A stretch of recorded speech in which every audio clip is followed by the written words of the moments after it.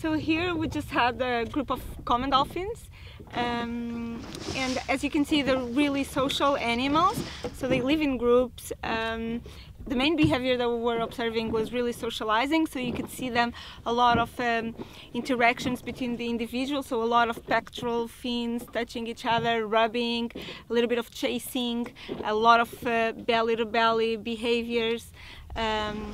a lot of jumps as well we saw a lot of noisy leaps a lot of uh, clean re-entries uh, and this is uh, also um, a group of adults right here